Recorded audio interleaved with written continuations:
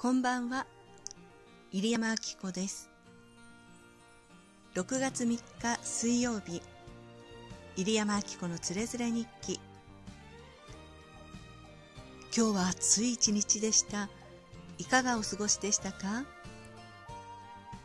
こんなに暑くなると熱中症が怖いシーズンが始まったのかなと心配になっています。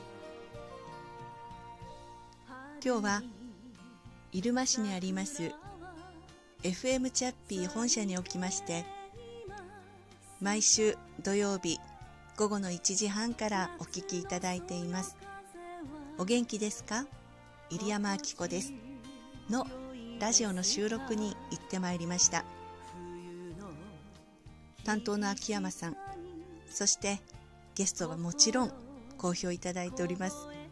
涌井保社長にいろいろなお話を伺うことができました。今日の社長は帽子と紫の T シャツと着てくださっております。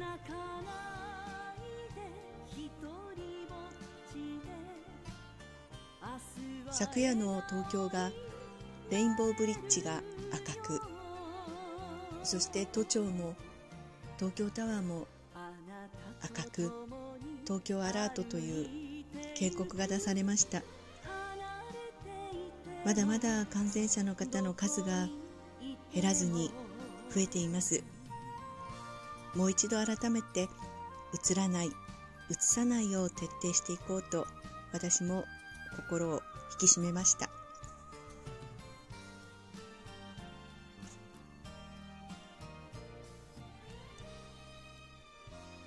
どうぞ皆様もこれからの季節はマスクをつけたままの感染予防対策しばらくは続行となります。暑い時期にはマスクをかけたままだと熱中症になりやすいと言われています。